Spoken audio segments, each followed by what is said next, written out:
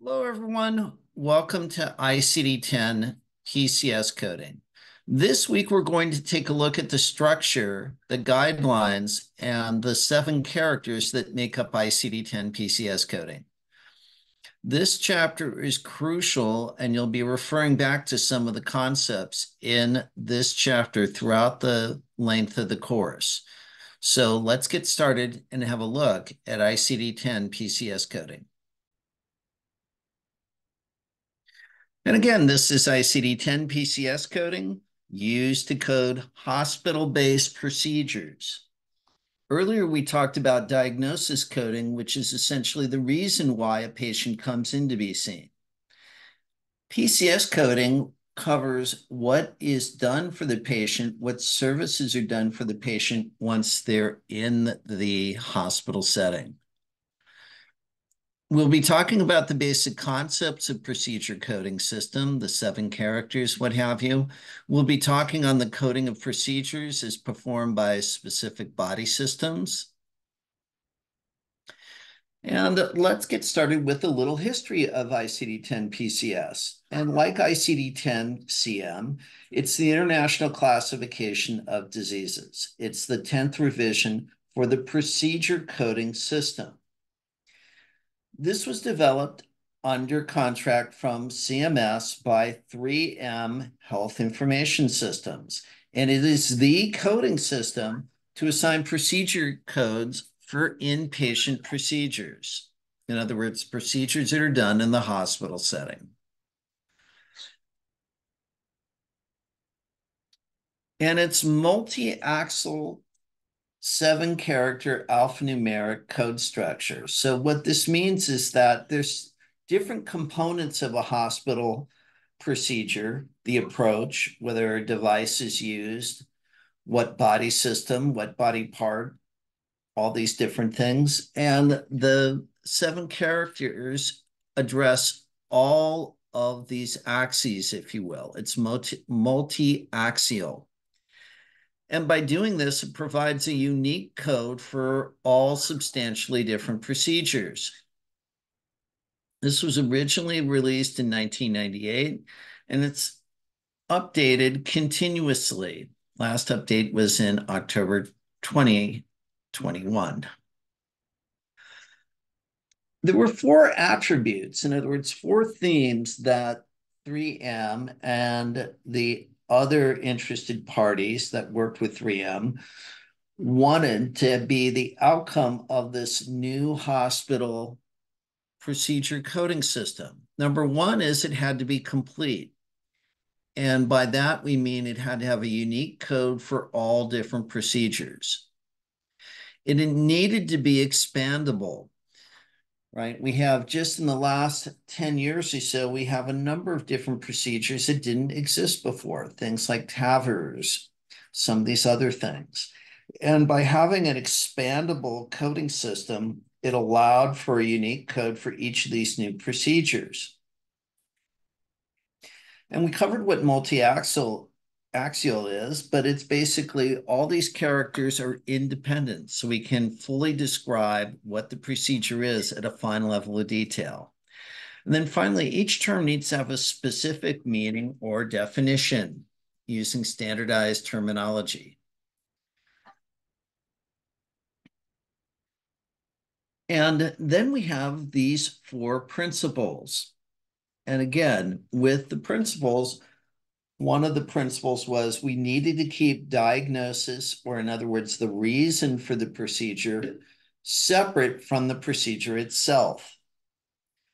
Secondly, we wanted to limit the not otherwise specified codes, the NOS codes. And likewise, limit the use of non-elsewhere classified codes or the other codes. In other words, when the coding system be complete enough where these were used relatively sparingly. And then finally, the system allows for all procedures to be coded under the PCS system, the ICD-10 PCS system. And the code structure is done with the alphabetic index and the code tables. The codes are always seven characters in length. This is different than ICD-10 CM coding. The seven characters are either letters or numbers, and these are called values. And we'll see what that means in just a little bit. Each of these seven digits or letters are called characters. And each value is a specific option for each character. Each character, if you will, 1 through 7, has 1 to 34 possible values. A value can either be a number from 0 to 9, or it can be a letter. And the letters have to be A through H, J through N, and P through Z. You'll notice that the alphabetic letters of O and I are not used so they don't get confused with the number zero or the number one. Each code is constructed by choosing a specific value for each of the seven characters. And the values are assigned for each character, specifying the section, the body system, the root operation, the body part, the approach, the device, and the qualifier. And we'll explain what each of these means in just a little bit. The definition of each character is a function of its physical position in the code. So in other words, when we talk about the root operation, that will always be in the same position of each of the seven characters. That will never vary. The root operation itself may vary, but it will always be the same spot in the seven character sequence. And speaking of the sequence, here it is. Here are the seven characters. The first is the section of the ICD-10 PCS coding system, medical, surgical, what have you, imaging. Those are examples of sections. The second is body system, respiratory, gastro digestive system, and so on. The third is the root operation, you can think of the root operation as the reason why the procedure was done. Did we resect something? Did we excise something? And so on. Did we inspect something? Did we transplant something? Those are all examples of root operations. The body part is the part of the body that's within the body system. So there's a relationship between the body part, which you find in the fourth character spot and the body system that you find in the second spot. The fifth is the approach. The fifth character with the approach describes whether it was done open or through a scope or through a body cavity or so on. And then the sixth is the device. Sometimes with procedures, we will put a device in. That is described by the values in the sixth character. And then the seventh is a qualifier. This gives us additional information about the procedure. Something else a little bit different about ICD-10 PCS as opposed to ICD-10 CM is the alphabetic index. With diagnosis coding, we looked at main terms that were in bold. With the index in the PCS codes book, we have an alphabetic listing of procedure titles, and this gives us root operations, body parts, and devices.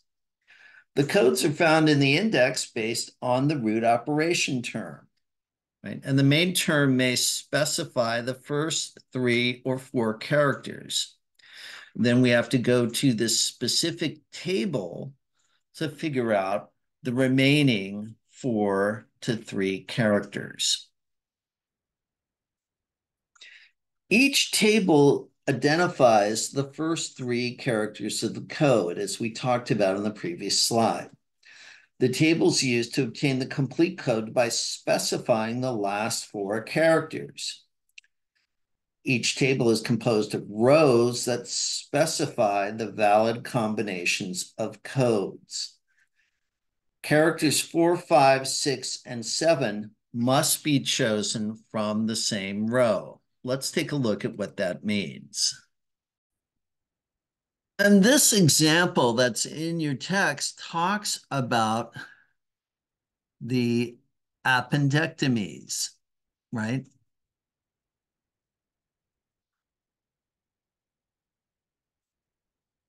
So as you can see here,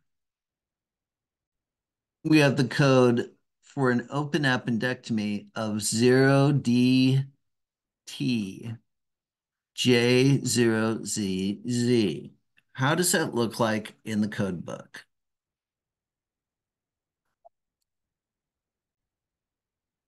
You can see here, here's our example. The first three characters, which we got from the index, are 0, dt.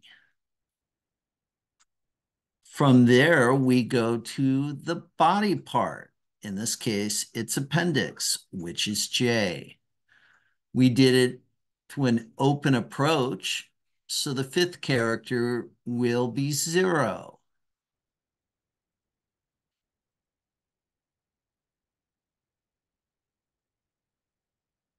There is no device that's left behind, so that gets a Z. And there is no qualifier right? So as you can see here, medical surgical sec section, the gastrointestinal system, and here, character three, the root operation. Cutting out without replacement is a resection. So in a lot of ways, you can see both some similarities and some differences between ICD-10 PCS and ICD-10 CM. Once you're experienced with ICD-10 PCS, experienced hospital coders may code right from the tables themselves. However, initially, I would strongly advise following along in the book, get familiar with the index, because again, some of these things that we think of are a little bit different once we get to the root operations. For example, we don't think about an appendectomy as being a resection of an appendix. That's all I have for you right now. Come back for our next set of video lectures and we'll continue discussing ICD-10 PCS. Bye now.